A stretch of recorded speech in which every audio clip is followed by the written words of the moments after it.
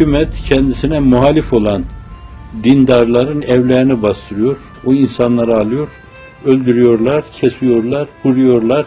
Siz iktidara muhalif hareket ettiniz diye.